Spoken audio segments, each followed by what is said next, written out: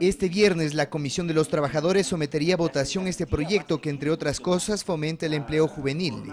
Uno de los cambios que se incorporaría sería el límite de edad para cubrir un mayor segmento de primeros empleos. La necesidad de ampliar la cobertura de 18 a 26 años, creo que ese es uno de los cambios necesarios. La oposición presenta su reparo sobre el financiamiento de esta estrategia. Porque la propuesta carece de estudios técnicos actuariales. Sabemos que necesitamos cerca de 70 millones de dólares. En cuanto a la creación del seguro de desempleo, se ratifica que este no reemplaza la cesantía. No se lo está utilizando ni se lo está tomando para el seguro de desempleo.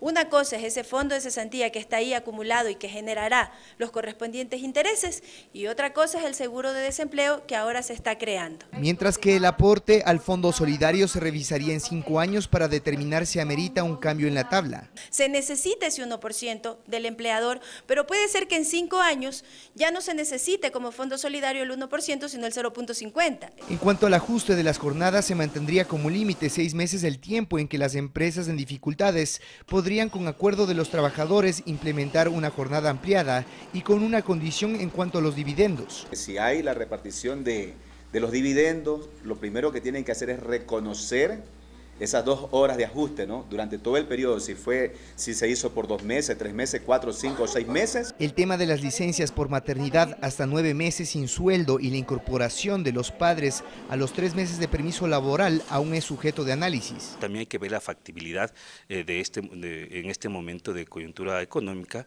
compleja. No somos los países escandinavos que le sobran la plata para eh, tener hasta incluso dos años a la madre junto al hijo, que es viable que es conveniente, que puede darse. Una vez aprobado en la comisión, el proyecto de ley pasará a segundo y definitivo debate. César García, Ecuador TV.